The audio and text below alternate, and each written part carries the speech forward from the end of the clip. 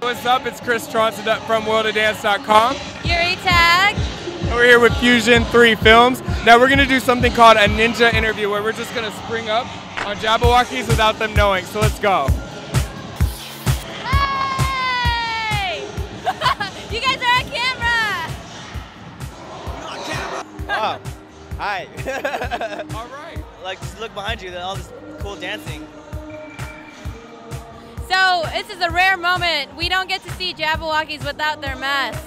They're actually like good looking guys. Like when I first saw this season, I'm like, maybe they're just hiding, but I heard one of the biggest things ever. Please tell me about this Vegas show. I'm so hyped up.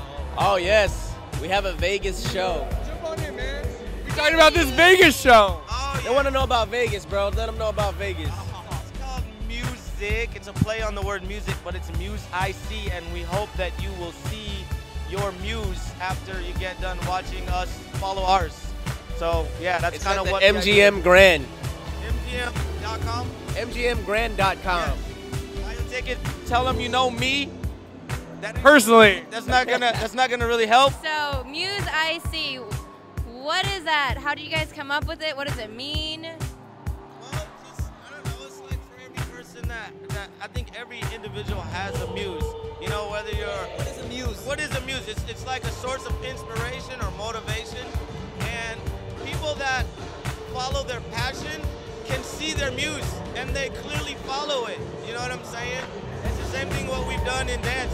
It's been such like it's so like strong with us. We cannot deny the muse that we see. You know, when we hear our music, it just makes us want to dance. That's the inspiration of a muse, getting you to get up and dip into that passion that is, you know, God given.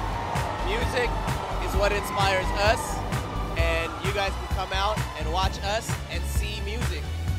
We will be the music for you guys to see. So if you're a fan, if you're a fan of music and you're a fan of movement, you're gonna want to come and see it because it's gonna be cool. You're just a fan of life, then you'll want to see it too.